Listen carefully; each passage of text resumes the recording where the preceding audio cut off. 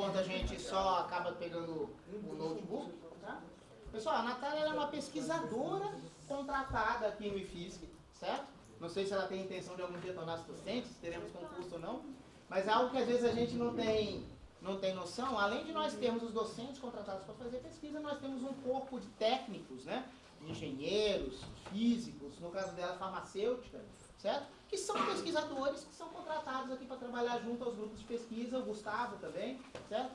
É, são pessoas de, do mais alto nível, da mais alta qualificação, mas têm uma carreira um pouco diferente, para trabalharem como pesquisadores aqui no IFISC. Né? Então, vários deles são bolsistas de produtividade, do CNPq, então eles têm um papel absolutamente fundamental aqui com a gente também. A Natália Inada, a Natália Mayumi Inada é uma dessas pesquisadoras aqui, ela tem tido bastante destaque, ganhou alguns prêmios recentemente.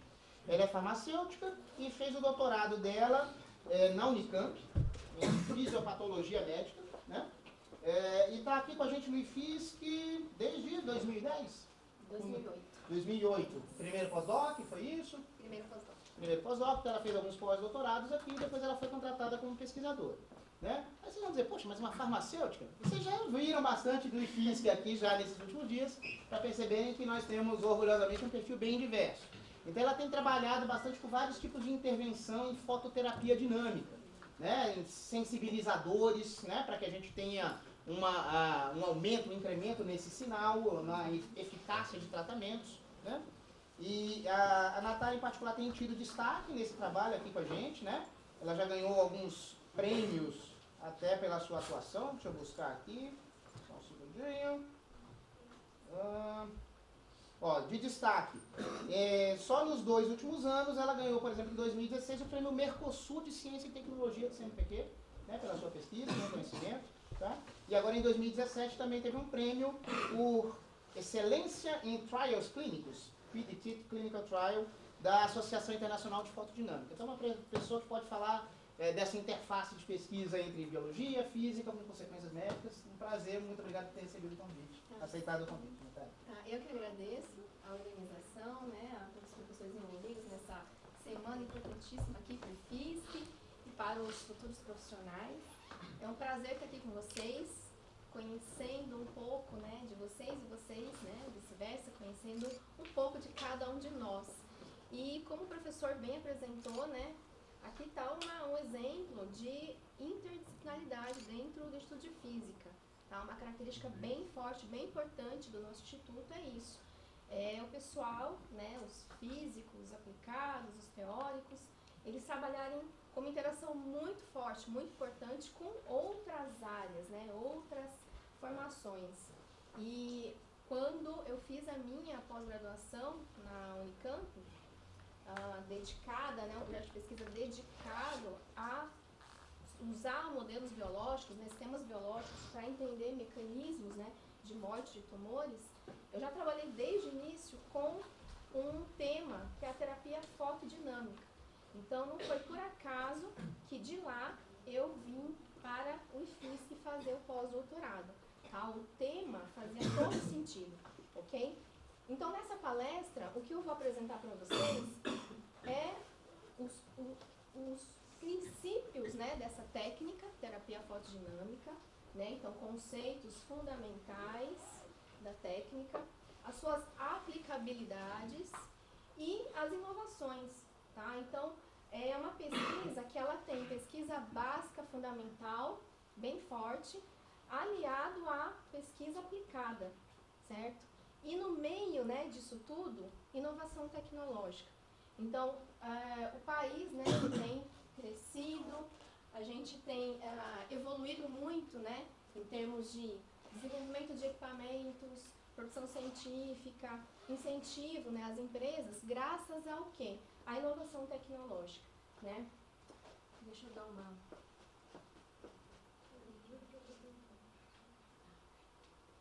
Só um minutinho, gente. Eu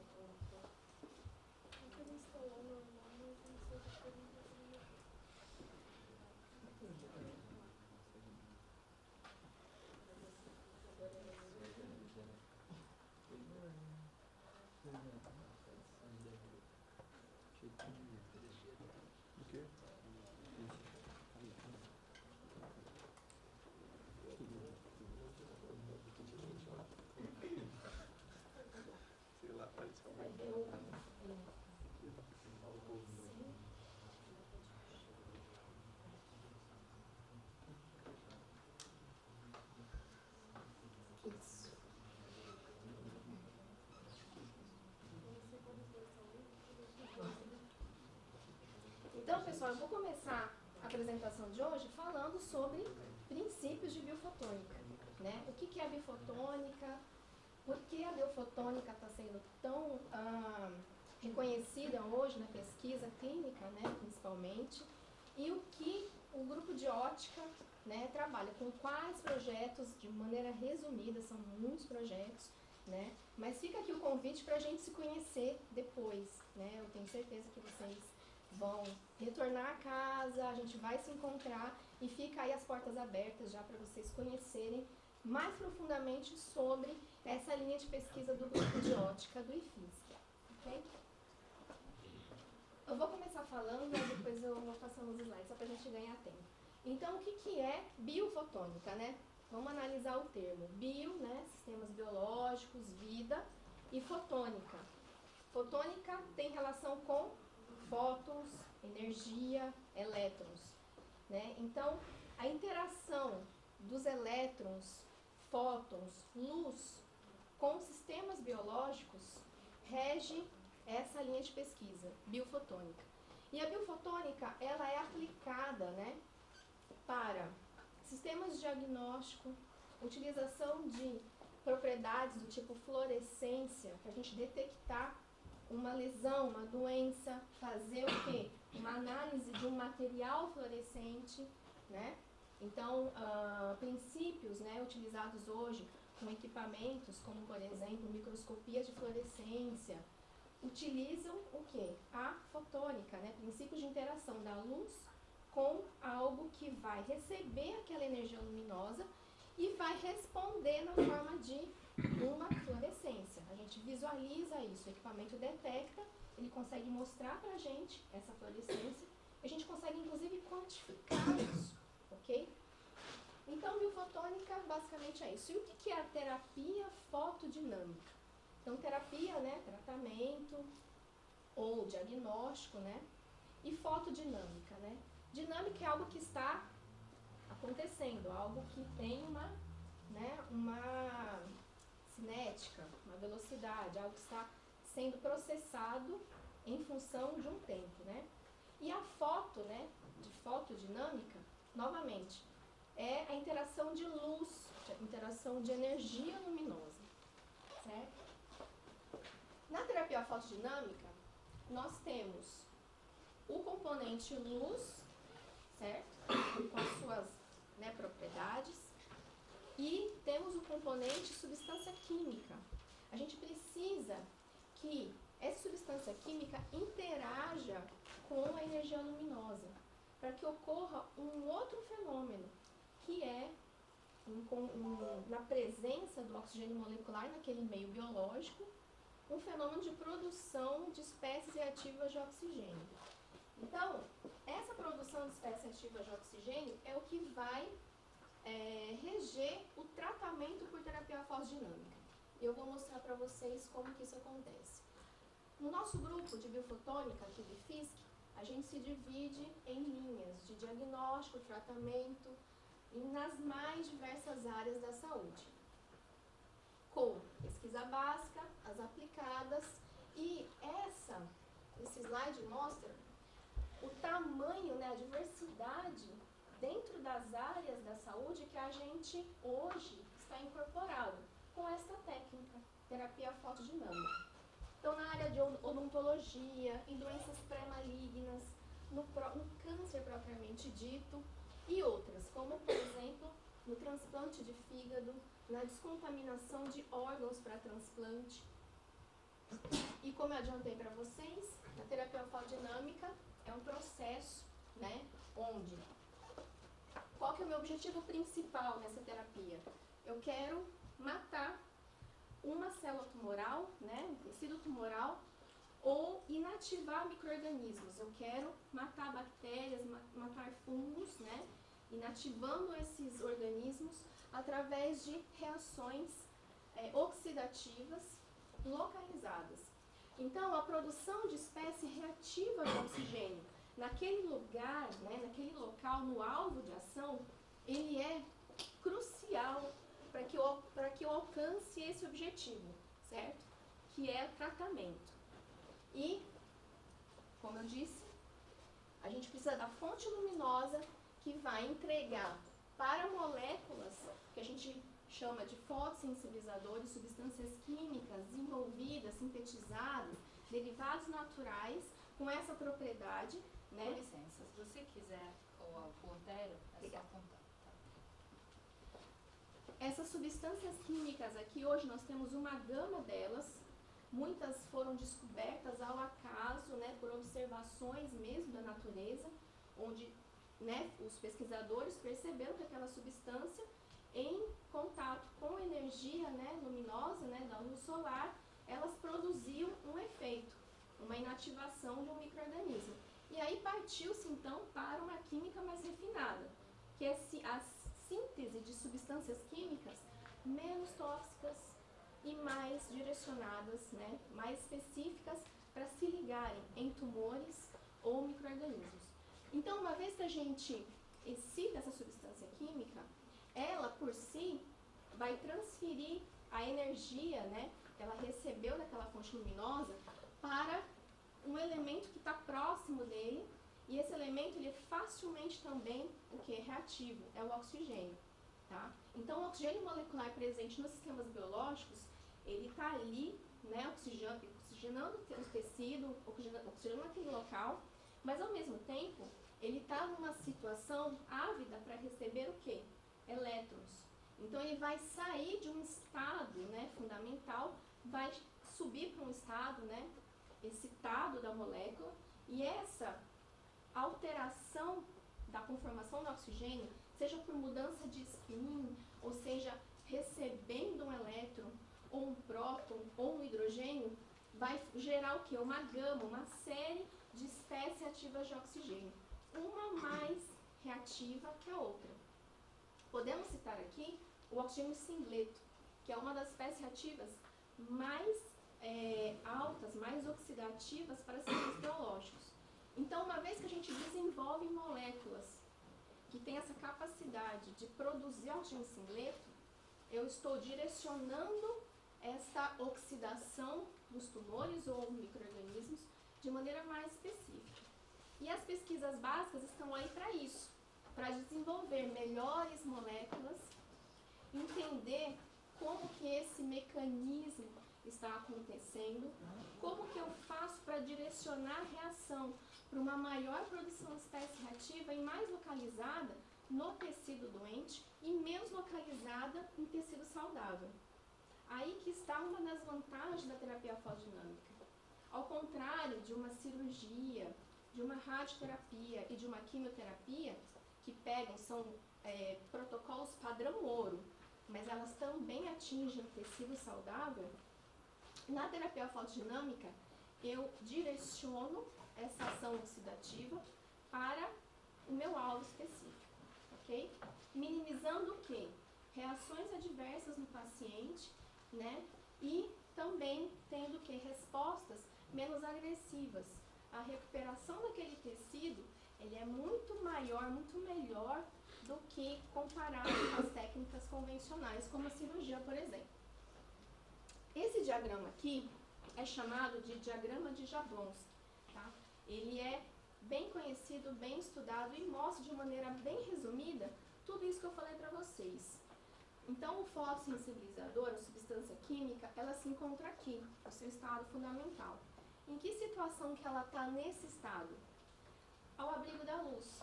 Então, eu tenho uma substância química que está protegida né, da iluminação. Ela está no ambiente escurinho ali. Ah, quando eu exponho essa substância química à presença da fonte luminosa, eu vou excitar essa estrutura química, essa molécula, e ela vai chegar, ela vai elevar né, o nível dela energético para uma situação de estado excitado do fotossensibilizador. Ele vai se converter no estado tripleto e através de cruzamento intersistemas, ele vai ou emitir uma fluorescência ou ele vai transferir essa energia para o elemento que está ali do lado, ávido para receber esse elétron ou esse fóton. E que elemento é esse? É o oxigênio. Tá? Então, uma vez que o oxigênio receber esse elétron ou esse fóton, ele vai sofrer dois tipos de reação. Reação tipo 1, reação tipo 2. Vai depender se ele recebeu ou elétron ou fóton, respectivamente. E na reação tipo 1, eu tenho o que? Geração de espécies reativas de oxigênio do tipo radical anil superóxido, radical hidroxila. E na reação tipo 2, eu tenho aquilo que eu desejaria muito na terapia alfadinâmica, que é a produção do oxigênio singleto. Ele tem um tempo de meia-vida bem curtinho, certo? Mas o seu poder de oxidação de lipídios e proteínas de membrana naquele local é extremamente elevado. Então, essa é a reação preferencial né, que a gente trabalha para ter né, de modo mais concentrado no processo fotodinâmico. Mas vocês sabem que trabalhar com meio biológico não é tão trivial assim. Na teoria, a gente monta toda uma estratégia para chegar na reação tipo 2. Na prática, muita coisa muda. Muda em função do quê? pH do meio, permeabilização das membranas, qual que é o tipo de tumor, se é um tumor mais metastático ou menos, se é uma bactéria gram positiva, gram negativa. Então, comecei a mudar essas variáveis todas, eu começo também a ter algumas, né, alguns desafios da técnica.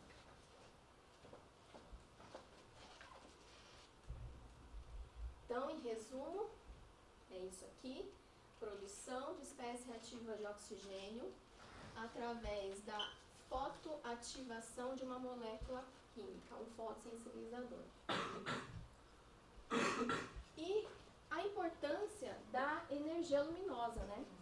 Nós fazemos esse, esses projetos de pesquisa aqui no IFISC dentro do grupo de ótica. Então não é uma coincidência, não é por acaso. Né? É um grupo que está dedicado a entender a interação da luz com sistemas biológicos, com tecido e também o desenvolvimento de equipamentos, né? Sistemas é, à base de LEDs, lasers, para o quê? Para otimizar a terapia fotodinâmica. Então aqui nós temos uma, uh, um espectro né, no UVVIS de uma molécula chamada fotossensibilizador. Então, utilizando um equipamento chama, chamado espectrofotômetro, a gente faz o que? Uma análise do perfil de absorção dessa molécula. No caso aqui é uma porfirina, tá? uma substância química bem utilizada na terapia alfadinâmica. E o que é uma espectroscopia? É como se fosse uma assinatura da molécula. Cada um de nós aqui temos a nossa própria assinatura, certo? A gente é conhecido por isso. É a nossa identidade, inscrito. E a espectroscopia de uma substância química também, tá? Umas mais ou menos parecidas com as outras, mas a característica é bem inerente de cada composto. E varia também essa assinatura do meio, né? No meio onde aquela substância está se é meio aquoso, se é meio orgânico. Então, tudo isso a gente tem que analisar, tá? E qual é a informação importante que eu tiro dessa, desse gráfico? Quando eu escolho um fotossensibilizador, eu tenho que saber em quais comprimentos de onda, ou seja, em quais regiões do espectro da luz visível que a substância absorve luz. Com essa imagem aqui, eu vejo alguns picos, né? Um bem grandão azul, 405 nanômetros, e alguns pequenininhos aqui na região do vermelho, certo? Sabendo que nesses picos há uh, regiões de maior absorção de luz, eu vou escolher qual que é o comprimento de onda, qual que é a cor do sistema de iluminação que eu vou fotoativar aquela substância. Entenderam? Então eu não posso escolher uma, uma luz numa cor ao acaso e por acaso escolher uma substância química. Eu tenho que analisar muito bem as características fotofísicas, fotoquímicas dessa substância para poder casar a luz, né, a cor da minha, da minha fonte de luz com a substância. Então vocês vão observando que esse processo não é assim empírico né? Tentativa e erro. A gente tem que entender muito bem de todos os elementos cruciais para alcançarmos o sucesso da terapia. Nesse caso, quando eu escolho essa porfirina para ser a substância química que vai ser ativada por uma fonte luminosa e vai tratar um câncer de pele, por exemplo, eu tenho umas duas opções aqui que eu estou destacando para vocês de cor, de comprimento de onda para achar, montar um sistema ou comprar um comercial e utilizá-lo para ativar essa molécula. Nesse pico aqui enorme, 405, ele tem uma altíssima absorção no azul. Isso é ótimo, né? Eu vou excitar essa substância química numa eficiência muito grande, muito boa aqui no azul. Já nessas bandas pequenininhas aqui, que a gente chama de bandas Q, eu tenho um pico pequenininho, mas ele aparece aqui em 630.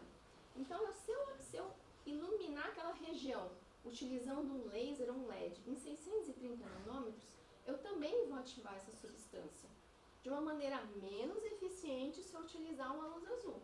Mas eu vou também fazer com que a reação né, aconteça. Lembrando aquele diagrama, eu excito a molécula nessa cor 630 ou nessa 405, ela vai sair do estado fundamental, vai alcançar o estado excitado e dali toda aquela reação dinâmica acontece. São espécie ativa e morte do alvo, certo? Ok. Qual luz escolher? Bom, se eu estou tratando um câncer de pele, eu tenho que me preocupar que essa luz tem que alcançar o tumor na sua profundidade também. Eu não posso deixar passar algumas células tumorais lá embaixo, porque se isso acontecer, o paciente vai embora, mas ele vai voltar alguns dias, alguns meses depois, com uma lesão até maior de quando ele chegou para o consultório.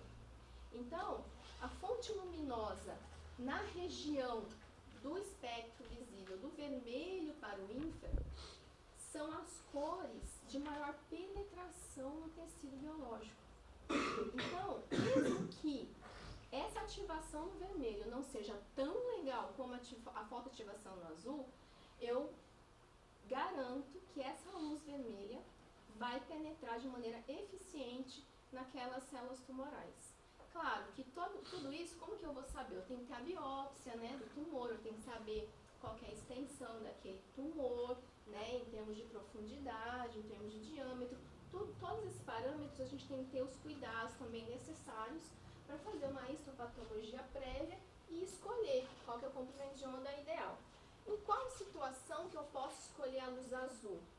Para tratamento, por exemplo, de infecções causadas por fungos e bactérias em unha e pele. Porque aí eu não preciso, como a infecção está bem superficial, eu não preciso de uma alta penetração da luz, ok? Então, esse que é o, entendimento, é uma lógica bem simples, né? Mas a gente precisa ter esse conhecimento para não cometer erros na hora das escolhas dos casamentos compostos, fotossensíveis e a fonte de luz, certo? Então, como eu falei para vocês, aqui nós temos né, a representação da penetração da luz ao longo do espectro da luz visível, né? Então, quanto mais para o sentido do vermelho para o infravermelho, tem uma maior penetração dessa luz. E o que, que explica isso, esse fenômeno da interação da luz com o tecido biológico? Por que, que nessa região do vermelho a penetração é mais profunda do que na região do azul? Devido a esses componentes principais que fazem parte dos tecidos biológicos. A água, a hemoglobina, a deoxihemoglobina, a melanina são componentes que são os elementos principais dos tecidos biológicos e eles absorvem muito em regiões aqui, ó, regiões do 400, 500 nanômetros. À medida que eu estou analisando esse espectro né, de absorção desses componentes do tecido em função do vermelho para o infravermelho, vocês podem observar que cai essa absorção nessa região, o que a gente chama de janela óptica. Então, esse termo foi dado para explicar por que, que luz na região do vermelho e infravermelho tem uma maior penetração. Ele não tem praticamente barreiras biológicas. tá? Para interagir nesse comprimento de onda, porque esses elementos aqui absorvem em outros comprimentos de onda, certo? Entendido? Ok, e para fazer diagnóstico, né, para analisar um sistema biológico pelo fenômeno de fluorescência, novamente, são aqueles conceitos que eu passei para vocês na terapia pós-dinâmica. Uma substância química, no escuro, estado fundamental, mas se eu excito essa substância química, seja no tecido biológico, seja num equipamento, né? Então, o microscópio de fluorescência usa o quê? Uma fonte de luz, um laser, para excitar aquela substância química ali, que a gente chama de marcador fluorescente. Então, ela vai sair, ela vai receber energia da luz, vai entrar no estado excitado e ela vai decair emitindo fluorescência, tá? Então, essas duas imagens aqui são imagens na prática tiradas em laboratório, uma cubeta com uma substância química, que no escuro você vê só a substância transparente. Ao excitarmos esse líquido com um laser pointer, a gente enxerga aqui a emissão de fluorescência dessa substância lá dentro. E aqui alguns compartimentos intracelulares no microscópio, mostrando que marcando né, dentro da célula a fluorescência. Microscopia por fluorescência. E a gente utiliza também espectroscopia, que eu já falei para vocês, quando eu dei o exemplo da porfirina, né? Aqui a gente tem uma espectroscopia de um tecido, tá? Como que a gente fez essa análise? Nós utilizamos um sistema com laser, ele vai excitar aquele tecido, no caso um fígado, a gente fez esse experimento na USP, em Ribeirão, na medicina, e esse sistema, ele tem uma fibra que excita um laser, né, uma fibra excitatória do tecido, e uma outra que está do ladinho dela, que é uma fibra coletora. Essa fibra coletora, ela vai receber toda a informação do tecido, a resposta do tecido. Eu não usei nenhum marcador, mas o que está excitando lá dentro, já que você não usou nenhum marcador? Os cromóforos endógenos. Todos os tecidos biológicos têm substâncias, proteínas, que elas também têm essa propriedade, tá? De absorver luz e emitir uma fluorescência. A gente chama cromóforos intracelulares ou cromóforos endógenos. Então, com esse sistema, a gente excita o fígado e ele responde através do que? Da emissão né, desse sinal de fluorescência. A gente consegue comparar que esses sinais aqui são diferentes. Na, na linha vermelha, é uma porção do órgão que tem um tumor. Então a gente vê um sinal de espectroscopia, uma assinatura né, daquele tecido, bem diferente da região, da área do tecido, do fígado, normal.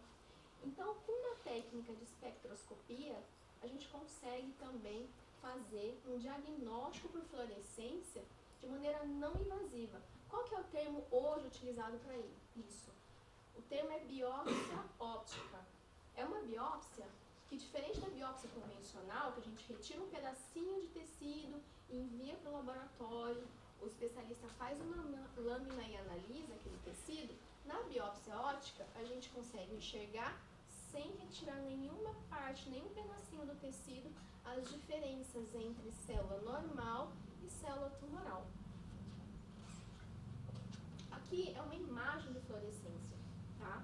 É um outro, uma outra técnica de detecção, diagnóstico por fluorescência, que a gente utiliza luz LED ou laser, uns jogos de filtros específicos para poder analisar, retirar a imagem, fazer uma foto da fluorescência do tecido. Onde tem uma fluorescência verde bem, fra, bem, bem forte, bem né, intensa, é o tecido normal. E onde tem essa região escurecida é um tecido tumoral. Quando vocês comparam essas duas imagens, na imagem de fluorescência, a gente tem uma riqueza muito maior de informações das bordas da lesão que uma foto convencional, certo? Então imagina que o olho do dermatologista vê isso aqui, mas quando você faz uma imagem de fluorescência, ele não via que tinha um tumor aqui, nessa região. Está bem escondidinho. Ele poderia só fazendo uma, uma análise clínica, retirar essa porção do tumor e deixaria para trás uma outra porção. O que, que ia acontecer? O paciente ia recidivar. A recidiva é o quê? É um retorno da lesão. Muitas vezes, naquela região, formou-se novos tumores ou tumores antigos foram deixados para trás e o paciente voltou com a lesão no mesmo lugar. Tá? Então, é uma ferramenta que ajuda muito o médico a fazer uma análise do sistema né, biológico e ajuda também no tratamento. Aqui, gente, mostrando que dentro das células a gente produz é, é, no caso aqui a protoporfirina 9, dentro da mitocôndria. Esse ciclo aqui chama ciclo da formação ou produção do M. O M é uma estrutura química que é o esqueleto, né, que forma a hemoglobina. A hemoglobina da cor vermelha é o sangue, está dentro das hemácias, tá? Todo esse processo de formação do M ocorre dentro das mitocôndrias. E o que, que eu quero mostrar com essa imagem aqui bem complicada para vocês? Eu quero mostrar que a gente consegue hoje sintetizar uma substância que é o ALA, que é produzida naturalmente pelas células, tá? E essa substância química, ela entra na mitocôndria, depois de sofrer uma série né, de reações enzimáticas, e ela é convertida em protoporfirina 9. A gente consegue sintetizar essa substância química hoje no laboratório, produzir cremes, produzir uh, soluções com esse princípio ativo e aplicar essa substância química sintética para a produção do nosso fossensibilizador ideal. E aí, é um, um, um, a vantagem da gente utilizar essa substância é que você tem a porfirina ou o fossensibilizador dentro da mitocôndria. Quando eu iluminar esse tecido e a luz chegar aqui, ela vai o quê? Romper, ela vai destruir a célula a partir da mitocôndria. Então, é uma reação altamente específica, certo? Só para mostrar para vocês algumas manobras que a gente utiliza hoje entendendo bem né, o papel dos fósseis infladores endógenos para favorecer a técnica de terapia fotodinâmica. Então, deixa eu passar rapidinho aqui. O sistema né, desenvolvido, aí entra a inovação. Né? Esse sistema aqui foi desenvolvido no IFISC. Tudo começa com a ideia, com o entendimento da técnica e você chega a um equipamento, né? Aquele desenho era o protótipo, esse aqui é o equipamento na versão final, um sistema laser emitindo em 405 nanômetros luz azul, né, energia bem alta para excitar a porfirina. E essa imagem são lesões por HPV. Toda essa região aqui que está florescendo em vermelho, inclusive esses pontinhos escondidinhos aqui, que são lesões subclínicas, são lesões causadas pelo vírus do HPV. E a gente consegue, através da fluorescência, detectar aonde exatamente tem lesão e onde eu posso tratar por terapia fotodinâmica. Essa imagem, câncer de pele não melanoma. De novo, eu consigo passar o creme com aquela substância química que eu mostrei para vocês, o ALA. Ele vai entrar nas células, produzir protoporfirina 9 e aqui a fluorescência bem marcada da protoporfirina 9. Eu faço um diagnóstico da lesão e utilizo essa substância química lá dentro para fazer o tratamento. Aqui é colo do útero. A gente enxerga lesões dentro do colo do útero através da técnica de fluorescência e utilizando um sistema não, não invasivo né, equipamento, de novo, inovação, desenvolvido aqui no FISC, com né, apoio de indústria nacional, parceria no exterior, pesquisadores do grupo de ótica, colaboradores. A gente tem um sistema hoje aprovado pela Anvisa, pela COFEPRIS também, que é a Anvisa mexicana, e a gente está caminhando para conseguir aprovação pela FDA. A paciente tem o diagnóstico de lesão no colo do útero. Qual que é o padrão ouro hoje? Remoção de uma porção grande do colo do útero. Isso é muito preocupante para a mulher, principalmente na faixa etária que hoje temos né, de pacientes com essa doença. 25 anos de idade. Mulheres que ainda nem tiveram né, o primeiro filho. como que você vai remover o colo do útero de uma paciente que não teve nem o seu primeiro filho? Aí a gente entra com essa proposta. Aplicamos o creme, esperamos uma hora, é o suficiente para ter a produção daquela protoporfirina 9 e iluminamos a região com uma ponteira específica, várias outras, né, para condilomas e tratamos em 20 minutos aquela lesão. Ok, gente, eu acho que tem muita coisa legal ainda para mostrar. Eu quis aqui né, mostrar o princípio da biofotônica, como que isso acontece, é, para vocês entenderem o mecanismo por trás disso e a proposta dessa técnica não invasiva, né? A gente, a proposta é preservar aquele tecido, tratar aquela região, não tem limites de número de sessões, né? E com isso a gente tem crescido mundialmente, no Brasil, baseado em quê? Muita pesquisa com culturas de células, entendendo né, todos os fundamentos, aplicando parceria né, com a indústria nacional, valorizando, claro, né, o nosso, nossa é, capacidade de produção no país. E hoje a gente consegue produzir tanto medicamento quanto equipamento para essa técnica que tem só crescido ao longo dos anos. Então eu espero, numa próxima oportunidade, mostrar muito mais para vocês. E essa apresentação aqui foi só um, né, um, deixar um gostinho de quero saber mais sobre isso. Muito obrigada.